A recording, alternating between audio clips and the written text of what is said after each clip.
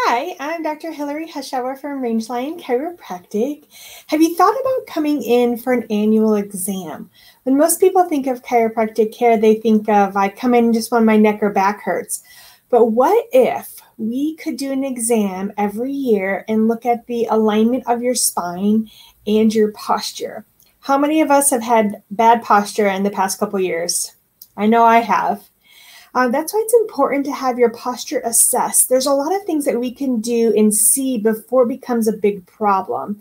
An annual exam is something that we all need to start considering. Think about it as going to the dentist and you get your um, exam twice a year, actually, and see how your teeth are doing. They don't just pull all your teeth, they make sure things are looking good and they give you a heads up like, hey, better start cleaning in the back of your teeth before this becomes a problem and then they set you up for six months later. Think of chiropractic annual exams as uh, what's going to happen to your spine and your posture if you don't do something to prevent it. Here at Rangeline Chiropractic, we are now offering annual exams. It's a one exam per year.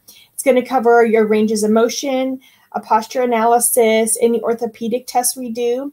Um, often patients need an x ray to look at the arthritis or degeneration in their spine. That will be included in the annual exam package. And then, if you're like most of us, you have a lot of tightness in certain areas of your body. In our annual exam package, we are also going to be throwing in one therapy for muscle tightness. My favorite is the dry needling. And if you haven't had that, I'd be happy to talk to you about it. So, at Rangeline Chiropractic, we are now offering annual exams. Sign up soon.